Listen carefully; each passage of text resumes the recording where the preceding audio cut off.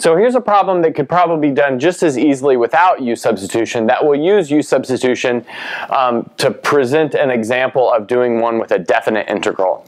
So let's see what we can do. Always a good choice for u is the most deeply composed function. So in this case, this would be an obvious choice for u. So if we let u equal 3x plus 16, that gives us du equals 3 dx. But now notice we have just a single dx, so that means we can solve and we'll get 1 third du equals dx. So we can say that this is 1 third du. So that allows us to rewrite this integral as the integral of the square root of u, which we'll just go ahead and rewrite as u to the 1 half du. We'll bring this 1 third outside that came from the, um, that was attached to the du. And now we have to think about what we do with the bounds of integration. So over here, we can see that these are x number bounds for the integral in terms of x. But what we can do is we can change those to u number bounds and never go back to the original variable. So let's see what we get.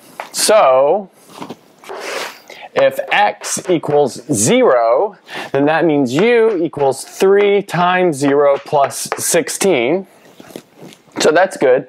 That gives us u equals 16.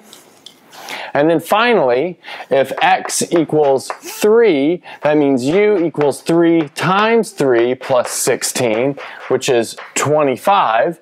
So we get u equals 25. Okay, great. So now we can continue on.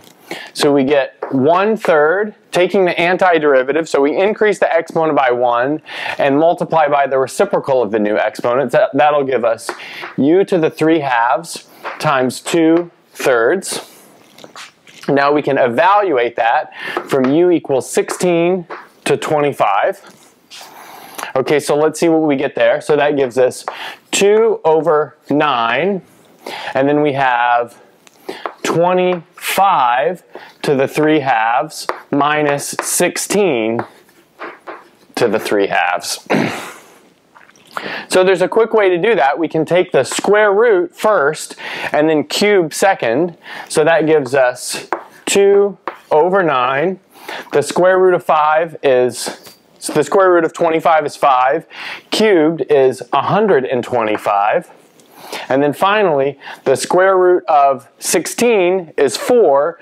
4 cubed is 64. So we have this for our final answer.